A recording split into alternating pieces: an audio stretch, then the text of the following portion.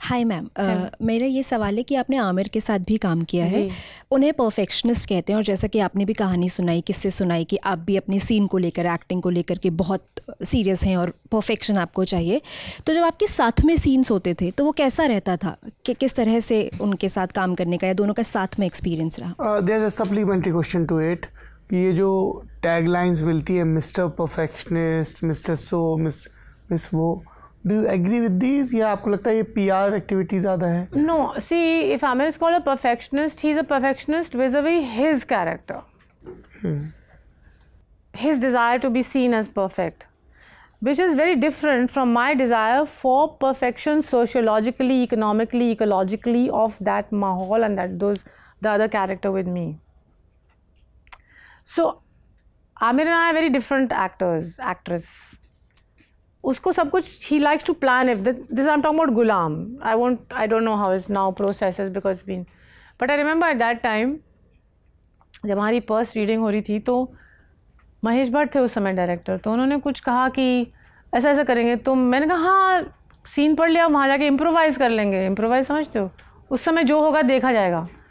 तो अचानक उन्होंने कहा इम्प्रोवाइज़ मैंने उनको वो शब्द बड़ा खटका तो मैं तब आमिर को। हाँ कि इम्प्रोवाइज न मतलब क्या? तो हमारे साथ थोड़ा बहुत ये था कि जब हम सीन्स कर रहे थे जैसे वो जब पैसे निकालता है कि मुझे आपको देने हैं पैसे तो वो मुझे कहें कि आप जब मैं ये करूँगा ना तो तो आप ये करना। तो मैंने कहा नहीं। मैं कहा no you do what you have to do I do what I have to do no but then how will I know what you do I said see me ना what I am doing and react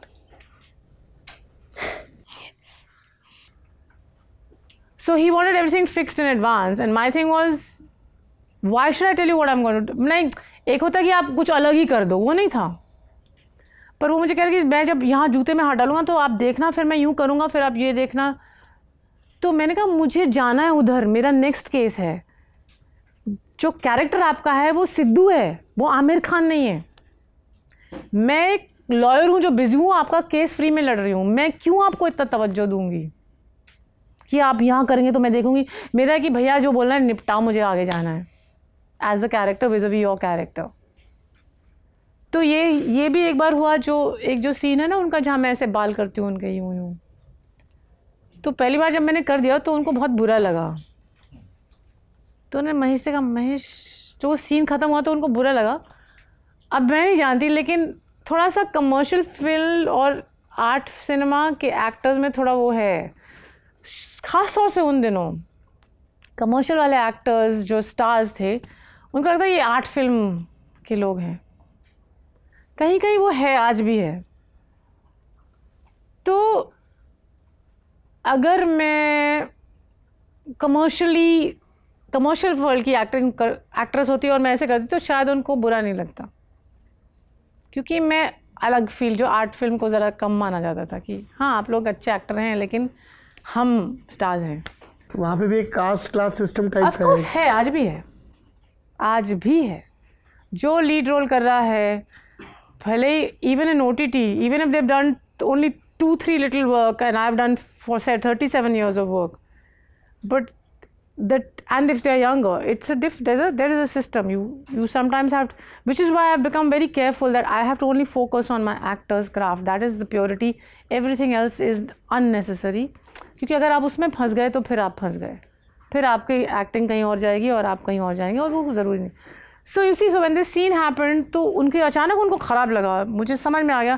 मैंने तुरंत पकड़ लिया। मैंने कहा अच्छा ये है कि हाथ कैसे लगा दिया मुझे?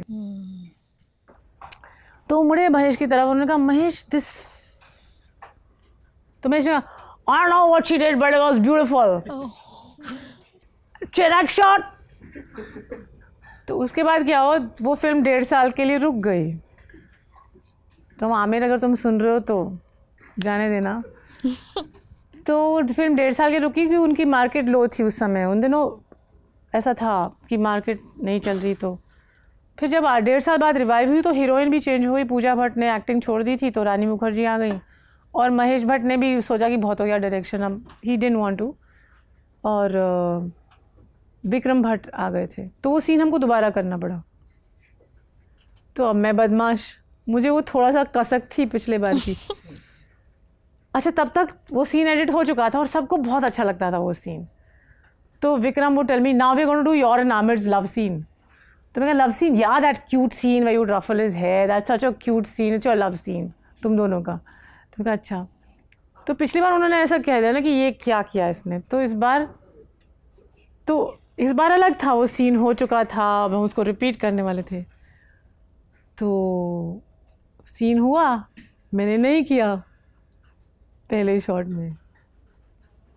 वो वेट कर रहा कि मैं ऐसा करूँगी मैं नहीं किया। फिर वो सीन हो गया रानी मुखर्जी चली गई अंदर और सब। तो फिर आमिर कहता you don't do that I said what this which you did last time अच्छा हाँ पर पिछली बार आपको बुरा लगा था। No no no please do it तो मैंने कहा हाँ आज करूँगी। तो ऐसा होता है। तो माने हम दोनों अलग किस्म के एक्टर्स हैं।